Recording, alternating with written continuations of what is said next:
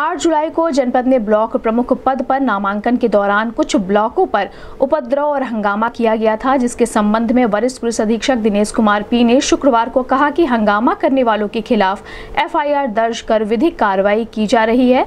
साथ ही video footage से ऐसे लोगों को चिन्हित करने का कार्य किया जा रहा है। उसके बाद उनके ऊपर विधिक कार्रवाई की जाएगी। इस संबंध में गोरखपुर न्यूज़ से बात करते हुए वरिष्ठ पुलिस अधीक्षक दिनेश कुमार पी ने कहा देखिए, वहाँ पे पुलिस की पूरी तरह से प्रबंधन था। हाईवे के चलते वहाँ पे प्रॉपर तरीके से फोर्स भी लगाया गया है। उसके बाद भी कुछ लोग व्यवस्था बिगाड़ने के लिए और ब्लॉक पे हमला बोलने के लिए तैयारी में थे। तो पुलिस ने उनको रोका कि सीमित लोग को ही अंदर जाने देने की बात कही गई है। उसके बाद भी पुलिस के ऊपर पथराव किए थे, जिसके पुलिस को मजबूरन न्यूनतम बल प्रयोग करना पड़ा है। इसमें मुकदमा जो लिखा गया है, उसमें 200-250 के ऊपर अज्ञात लोगों के खिलाफ भी लिखा गया है और कुछ नामजद भी है।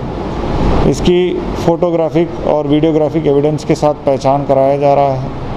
पहचान के बाद इनके खिलाफ सख्ती से कार्रवाई भी की जाएगी, चार्जशीट भी लगेगी, गैंगस्टर भी बनेगी और पूर्णतः शांति के खिलाफ कोई भी भंग करने की प्रयास करेगा तो उनके खिलाफ सख्ती से निपटाया जाएगा। सर कल कुछ लोगों को हिरासत में भी लिए जाने की सूचना नहीं ऐसा कोई किसी को हिरासत में नहीं लिया गया है। जो भी जहाँ भी इस तरह से घटनाएँ हुई है हम लोगों ने उसमें सभी थानों में एफ़ दर्ज किया है।